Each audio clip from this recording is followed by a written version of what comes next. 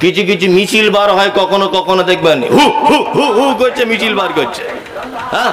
কেউ বলছে, ইল্লাল্লাহ ইল্লাল্লাহ জিকির করছে করছে না?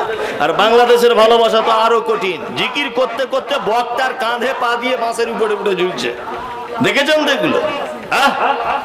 দেখেছেন না এরকম? মানে আশিকে রাসুল মানে পাগল হয়ে গেছে। ও পাগল নয়, ও নিজে পাগল। এ ভালোবাসা কাকে বলে? হ্যাঁ? ভালোবাসাটা কাকে বলে? এটা আপনার জানা নেই। ভালোবাসার বগির প্রকাশ কি? ভালোবাসার বগির প্রকাশ, প্রেমের বগির প্রকাশ হচ্ছে এই আনুগত্য করে চলা। কিছু কিছু লোক বলে না, জিকির করছি, জিকির মানে লা লা লা এটা জিকির নয়, পাগলামু। জিকির কাকে বলে? জিকির মানে স্মরণ করা। জিকির মানে কি? স্মরণ করা। এখান থেকে আপনি হায়দ্রাবাদে গেছেন, রাজমিস্ত্রি কাজ করেন। ভালো করে বোঝার চেষ্টা করুন। হায়দ্রাবাদে গেছেন, রাজমিস্ত্রি কাজ করতে। তা আপনি প্রতিদিন কোম্পানি আপনাকে বিরিয়ানি খাওয়ায়। প্রতিদিন, রাতের বেলা বিরিয়ানি, দুপুর বেলাতেও বিরিয়ানি। আপনার বাড়ির আর্থিক অবস্থা খারাপ। তা আপনি বিরিয়ানি খেতে খেতে কানতে কানতে বলেন, ও আমার বউ রে। ও আমার বেটি রে, তোরা বাড়িতে ঝাল পোড়া খাইয়ে ভাত খাস, আর আমি প্রতিদিন বিরিয়ানি খাই। ও আমার বউ রে, ও আমার বউ রে। এরকম কেউ করে? হ্যাঁ? কেউ করে? যে আমি বিরিয়ানি খাচ্ছি, তুই বাড়িতে লঙ্কা দিয়ে ভাত খাচ্ছিস? এরকম পাগলামো কেউ করে? কেউ করে না। তাহলে স্মরণ সেই লোকটাই করে। মনে মনে স্মরণ করে, চোখ দিয়ে পানি চলে আসিস। আজকে আমি এখানে বিরিয়ানি খাচ্ছি, আমার বাড়িতে আমার বউ কাঁচা লঙ্কা আর পেঁয়াজ দিয়ে ভাত খাচ্ছে। মনে মনে স্মরণ করে, কি করে না? হ্যাঁ? করে? বাইরে কাজে গেছেন, কোন লোক এরকম বন্ধু বান্ধবের সামনে বলে, ও আমার বউ রে, তোর লেগে মন কেমন করছে রে? এরকম কেউ করে? মন কেমন করে? মনে মনে করে, তাই না? এর নাম কি? স্মরণ। এর নাম কি? জিকির। আরে নবীকে যদি আপনি ভালোবাসেন, তাহলে বদরের প্রান্তরের কথা যখন আপনার সামনে চলে আসবে, ওহুদের মাঠের ইতিহাস যখন আপনার সামনে আসবে, খন্দকের ইতিহাস যখন আপনার সামনে আসবে, আপনার চোখ দিয়ে অটোমেটিকলি অস্ত্র প্রবাহিত হবে। এর নাম হচ্ছে প্রেম, এর নাম হচ্ছে ভালোবাসা। আর আমরা যারা এই জিকিরের নামে বাসে উঠে লাফালাফি করছি, এগুলো জিকির নয়, বদমাইশি ছাড়া আর কিছু নয়। বদমাইশি ছাড়া আর কিছু নয়। আমি মমতাজুল ইসলাম এটা মনে করি। এটা রসুলকে ভালোবাসা না, রসুলকে অপমান করা। রসুলকে ভালোবাসা তখনই আপনাকে বোঝানো যাবে। আল্লাহ তাআলা বলেন মাতা কুমুর রাসূল আমার নবী যেটা দিয়েছে তোমরা গ্রহণ করো। নবী যেটা দিয়েছে সেটাকে ছেড়ে দাও। নবী যেটা নিষেধ করেছে সেটাকে থেকে দূরে থাকো। আর এতেই তোমাদের ভিতরে কল্যাণ রয়েছে। নবী যেটা দেয়, সেটা ধরে নাও। নবী যেটা নিষেধ করে, সেটা কি করো? ছেড়ে দাও। তাহলে তুমি নবীকে ভালোবাসো এটার প্রমাণ হবে, তার আগে নয়। এবার আপনাকে বলছি, পৃথিবীর কত জিনিসের থেকে বেশি ভালোবাসা লাগবে?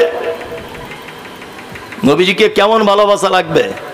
আল্লাহ তাআলা নবী বলছেন, তোমার বাপ তোমার বেটা, তোমার আত্মীয় স্বজন, এদের সবার থেকে তুমি যতক্ষণ না পর্যন্ত আমাকে ভালোবাসতে পারবে, তোমার ইমানের পরিপূর্ণতা আসবে না।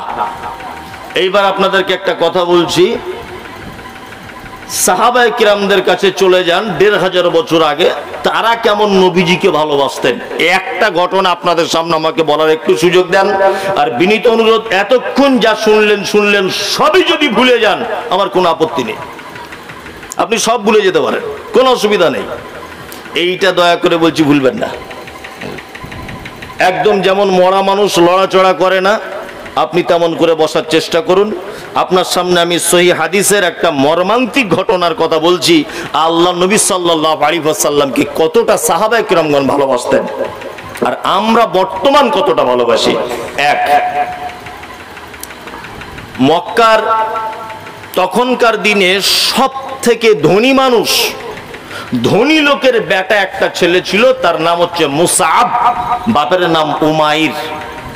এক কথায় তার নাম হচ্ছে মুসাব বিন উমাইর। এত ধনী মানুষের বেটা হাদিসে এসেছে যে মুসাব উমাইর একদিন একটা জামা পরলে দ্বিতীয় দিন সে জামা পরতো না। আর তার চুল কাটার যা ডিজাইন, তবে এখনকার মতো ন্যাংটো কাঠ নয়। আগেকার দিনে দেখেছি গ্রামে গরু চোর ধরা পড়লে নেড়া করে দিত। দেখেছি না? আর এখন সেই গরু চোরের নেড়া পয়সা দিয়ে করছে কিছু যুবক ছেলে। করছে কি করছে না?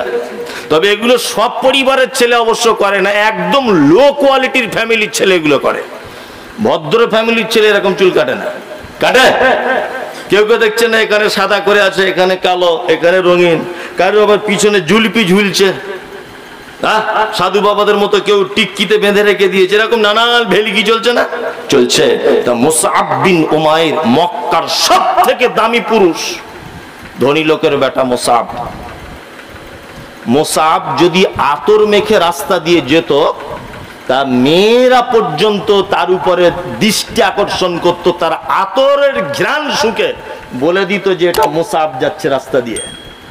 মোসাব যে জামাগুলো পরতো, বেশিরভাগ জামা হাবাসা, অর্থাৎ ইথোপিয়ার মানে একটা শহর আছে, সেটার নাম হচ্ছে হাবাসা। হাবাসা থেকে এবং ইয়ামান থেকে জামা কাপড় কিনে এনে মোসাব পরতেন। এত ধনী। আল্লাহু মুসাহাবের কাছে একদিন খবর গেছে যে মোহাম্মদ বলে একটা লোকের আবির্ভাব ঘটেছে। এই লোকটা নাকি নতুন কোন একটা ধর্মের প্রচার করছে। আর মানুষ দেখছি ওই লোকটার দিকে ভিড় ভিড় করে যেন চলে যাচ্ছে। দল কি দল লোক? মোশেকদের অত্যাচার উপেক্ষা করে মোহাম্মদ সাল্লাহ আলী সাল্লামের দিকে লোক যখন ঝুঁকে পড়ছে মোসাহাবেরও একদিন মনে হলো যে আমি একদিন যাই তো। তা আল্লাহ নবী সাল্লাম কোথায় থাকে দেখতে হবে? না সাপা পাহাড়ের এক সাইডে আরকাম বলে একজন লোক এই আরকামের বাড়িতে আল্লাহ নবী সাল্লাম মাঝে মধ্যে আসেন। ভালো করে বোঝার চেষ্টা করবেন ঘটনাটা। আরকামের বাড়িতে আসেন কে? না আল্লাহর নবী। তা মোসাহাব একদিন ঘুরতে ঘুরতে ঘুরতে ঘুরতে আরকামের বাড়ির দরজাতে পৌঁছে গেছেন। মোসাহাব দাঁড়িয়ে আছেন। দেখছেন নবী মোহাম্মদ সাল্লাহ সাল্লাম কিছু সাহাবিদেরকে নিয়ে আলোচনা করছেন, দিনের আলোচনা। মুসাব দাঁড়িয়ে গেছেন। এই মুহূর্তে কোরআনের একটা আয়াত অবতীর্ণ হলো। আল্লাহ নবী সাল্লাল্লাহু আলাইহি এই কোরআনের আয়াতটা সাহাবায়ে কেরামদের মাঝখানে পেশ করলেন। মুসাব এই আয়াতটা শুনে তার অন্তর যেন মোমের মতো আস্তে আস্তে করে গলতে শুরু করে দিল। আল্লাহ নবী সাল্লাম উঠলেন, মোসাবের এই রকম বুকে হাত রাখলেন আর বললেন তুমি তো সেই সম্ভ্রান্ত পরিবারের ছেলে মোসাব? বলছে হ্যাঁ। মোসাব নিজে বর্ণনা করছেন যে, আল্লাহর নাবি যখন আমার বুকে হাত রেখেছে, তখন আমার মনটা যেন শান্তি লাভ করল। যখন থেকে নবীজি হাত রেখেছেন, তখন থেকে মোসাব এবার ইমান কবুল করার তার মনের ভিতরে একটা বিশাল জুয়ার উঠেছে। সেইখানে দাঁড়িয়েই কিছুক্ষণের মধ্যে কলমা পড়ে ইসলাম কবুল করলেন। আল্লাহ নবী সাল্লাল্লাহু আলাইহি ওয়াসাল্লাম মুসাআবকে ডেকে বলছেন মুসাআব তুমি কি ইসলাম কবুল করেছ? এই কথাটা এই মুহূর্তে আর কাউকে বলো না। তাহলে আরকামের বাড়িতে আমরা যে ইসলামের কাজটা করছি, এটাও আর করতে সম্ভব হবে না। মুসাআব তুমি বাড়ি চলে যাও, এই ব্যাপারটা গোপন রাখো। মুসাআব এই যে আরকামের বাড়িতে মাঝে সাঝে আসে, এইটা উসমান ইবনে তালহা, এর সঙ্গে একদিন দেখা। উসমান ইবনে তালহা আরও কিছু লোককে ঘটনাটা বলেছে। মোসাব একদিন হঠাৎ করে মসজিদের ভিতরে নামাজ পড়তে ঢুকেছে। মোসাবের মা হচ্ছে ভীষণ রাগিনী একজন মহিলা। খুব রাগ। মোসাব বাড়িতে গেলেন।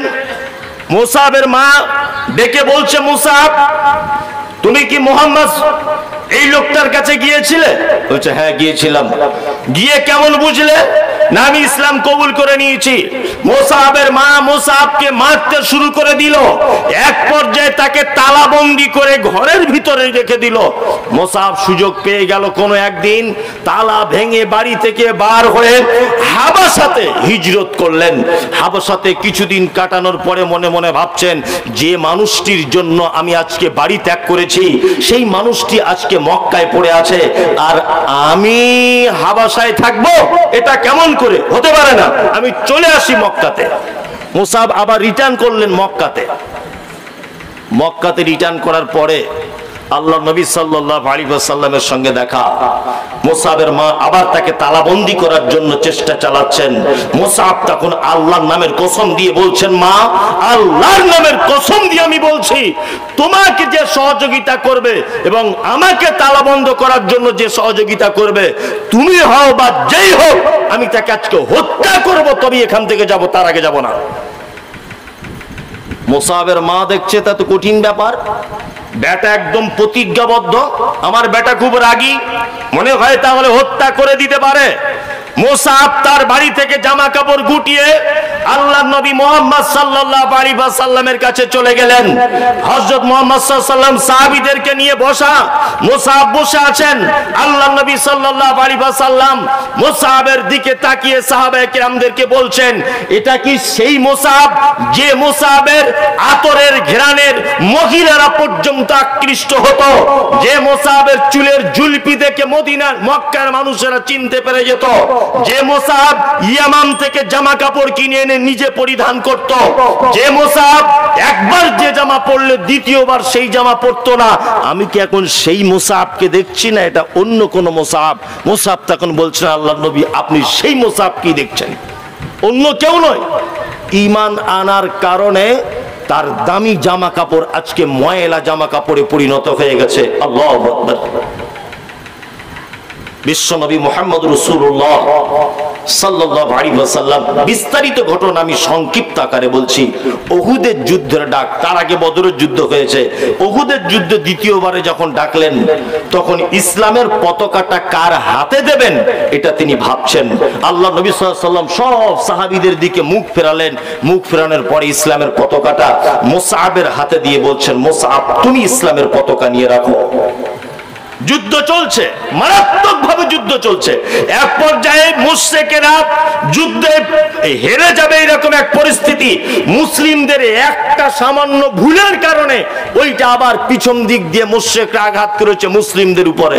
এক পর্যায়ে যখন মুসলিমদের উপরে আঘাত চলছে, মোসা পাহাড়ের উপর থেকে দাঁড়িয়ে দেখছে, একদল শত্রু আল্লাহ নবী সাল্লাল্লাহু আলাইহি ওয়াসাল্লামের দিকে উন্মুক্ত তলোয়ার নিয়ে, লাঠি নিয়ে, বল্লম নিয়ে আল্লাহ নবীর দিকে তাড়া করে আসছেন। মোসাফ পাহাড় থেকে লাভ দিয়ে এক হাতে ইসলামের তলোয়ার আর এক হাতে ইসলামের আপনার ঝান্ডা। মোসাফ একদম বীর বিক্রম অবস্থাতে সমস্ত জনগণের ভিতরে ঢুকে গেলেন, তলোয়ার চালাতে শুরু করেছেন।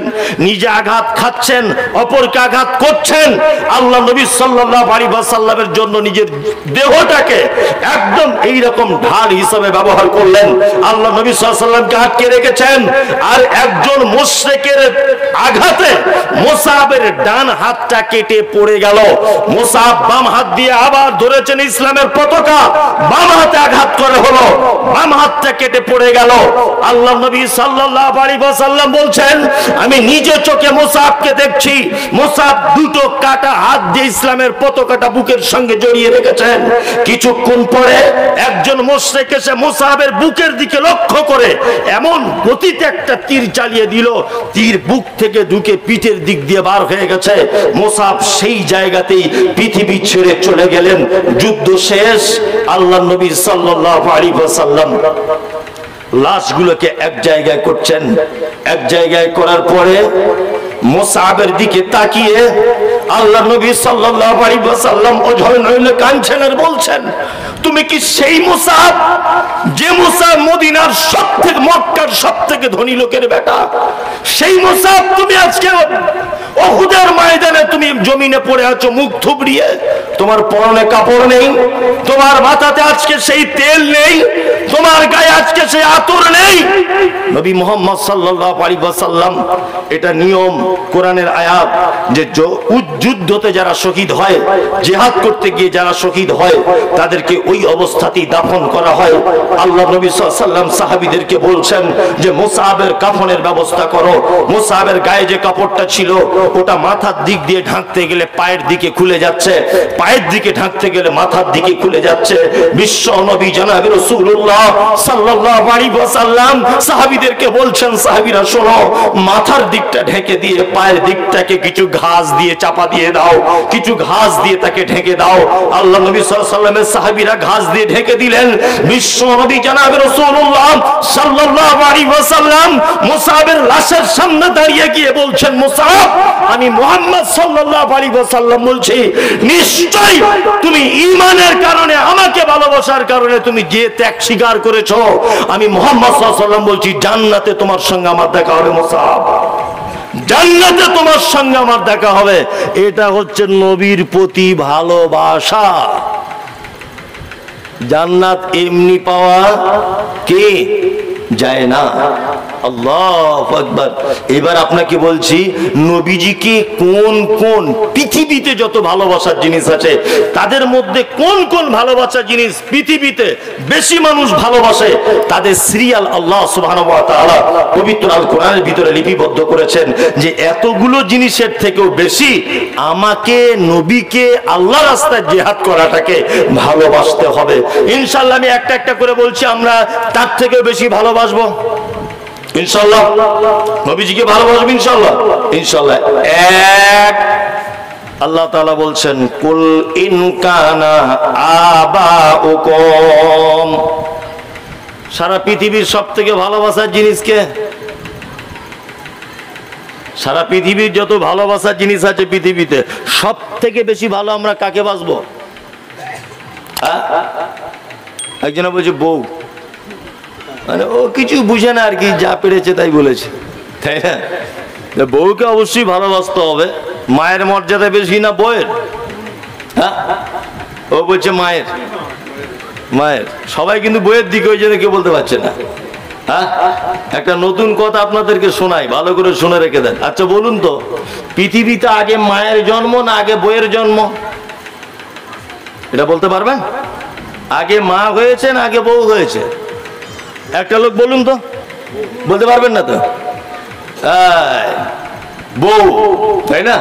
আদম আলী সালামকে যখন বানানো হলো, জান্নাতের বিষয়ে উসপিস উসপিস করছে ওর ভালো লাগছে না জান্নাতে? আল্লাহ বুঝতে পেরেছে ওর বউ দরকার। একটা বউ দিলেন ওর পাঁজর থেকে, তাই না? তাহলে পৃথিবীর মায়ের থেকে আগে জন্ম নিয়েছে কে? বউ। তার মানে বউয়ের পেটে জন্ম হয়েছে মায়ের। তাই না? বইয়ের পেটে জন্ম হয়েছে কে? মা। মায়ের পেটে কিন্তু বউ জন্ম হয়নি। হয়েছে? তার মানে বইয়েরও সম্মান কম নয়। কিন্তু আল্লাহ সুবহানাহু অত্র আয়াতের ভিতরে সর্বপ্রথম বলছেন, কুল! নবী আপনি বলুন আবা হুকুম তোমার আব্বা মা হচ্ছে পৃথিবীর সর্বশ্রেষ্ঠ নিয়ামত। তাই না? শ্রেষ্ঠ ভালোবাসার জিনিস কি? আবা হুকুম কুড়ি বছর পর্যন্ত মায়ের হাতে রান্না করে খেয়েছে। মা যেমন তেমন করে রান্না করে দিলেও বলতো, মা, ওই বহরমপুর হোটেলের থেকেও তোমার রান্না এত স্বাদ। তাই না? কলেজ থেকে টিফিন না খেয়ে মায়ের হাতে খাবে বলে বাড়ি চলে আসতো বহরমপুর থেকে। মায়ের কথা চলতো, মায়ের কথায় বসতো আর উঠতো। একুশ বছর বয়সে বিয়ে করেছে তিন দিন বইয়ের সঙ্গে এক বালিশে থেকেছে সকালবেলা উঠে বলছে, মা, তোকে একটা কথা বলব? তো যে কি বল? বলছে তুই আর আব্বা আলাদা রান্না করে খা, আমি আর আমার বউ আলাদা রান্না করে খাই। এই ঘটনা ঘটে কি ঘটে না? হ্যাঁ? কুড়ি বছর, বাইশ বছরের প্রেম, বাইশ বছরের ভালোবাসা, কেটে দিল কে? হ্যাঁ? বউ। পৃথিবীতে একটা জাতি আছে, তার নাম নারী। তার নাম কি? নারী। নিজের কালো মেয়ে বিয়ে দেওয়ার জন্য টেনশন করে। কালো মেয়ে, কি করে বিয়ে দেবো? কোথায় জামাই পাবো? অথচ ওর ব্যাটার যখন বৌমা খোঁজে, তখন পরিষ্কার মেয়ে খোঁজে। এর নাম নারী। কি বলছি, বুঝতে পারছেন না? নিজের কালো বেটি বিয়ে দেওয়ার জন্য টেনশন করে কে? মা। আবার নিজের ব্যাটার বহু যখন খোঁজে, তখন পরিষ্কার মেয়ে চালা আমার কালো মেয়ে বৌমা করব না। এর নাম কি? নারী। আল্লাহ আকবার। নারী এর নাম। পিতামাতার ভালোবাসা অনেক অনেক গুণে বেশি। আল্লাহ তাআলা আমাদের সকলকেই পিতামাতার প্রতি যত্নশীল হবার তৌফিক দান করুক, আমিন। তারপরে আল্লাহ তালা বলছেন, তোমার বেটা পৃথিবীর সব থেকে বড় নিয়ামত তোমার কে? বেটা। তারপরে তোমার ভাই, পৃথিবীতে তোমার ভাই। এখন আর ভাই ভাই আছে? বর্তমান পরিস্থিতিতে একটা কথা বলতে হয় না, তবুও বলছি, ভাই কয় রকমের জানেন? মায়ের পেটে থাকা এক রকমের সম্পর্ক এটা একটা ভাই, তাই না? যেটা বলে সাধারণ পল্লী ভাষাতে যে মায়ের পেটের ভাই। বলে কি বলে না? বলে? আর সুরা আহাজাব খুলে দেখুন আল্লাহ তাআলা বলছেন যে ইন্নাল মুমিনুনা, ইন্নামাল মুমিনুনা ইখওয়াতুন। তাই না? আল্লাহ তাআলা বলছেন, এক মোমেন আর এক মোমেনের কি? ভাই, এটা একটা গেল। এইবার নবীজির ভাষা শুনুন। নবীজি বলছেন, আল মুসলিমু মির আতাল্লিল মুসলিম। একজন মুসলিম আর একজন মুসলিমের কি? আয়না স্বরূপ। তাই না? কই নবীজি তো কথা বললেন না শোনার মতো? নবীজি কথা বললেন না পিতলের মতো নবীজি কথা বললেন না অ্যালমোনিয়ামের মতো, নবীজি বলছেন আয়নার মতো। আয়নার মতো বললেন কেন? আয়নার একটা বিশেষ বৈশিষ্ট্য আছে, সেটা কি? যখন আপনি কাঁদবেন, আয়নার সামনে যদি থাকেন, দেখবেন ভিতরের মানুষটাও, ছবিটাও দেখবেন কাঁদছে। আপনার মন খারাপ, আয়নার সামনে দাঁড়িয়ে দেখবেন ভিতরের ছবিটারও মন খারাপ। খারাপ কি খারাপ নয়? খারাপ। তার মানে বোঝা গেল তোমার কোন মুসলিম ভাই যদি তোমার কোন মুসলিম ভাই যদি দুঃখিত হয়, বিপদে পড়ে, সে যদি হাসে, সে যদি হাসে, তুমি তার হাসিতে ভাগ নাও। সে যদি কষ্টে থাকে, তুমি তার কষ্টতে ভাগ নাও। এইটাই তো একজন মুসলিম আর একজন মুসলিমের ভাইয়ের পরিচয়। ঠিক কিনা? হ্যাঁ? আজকে গত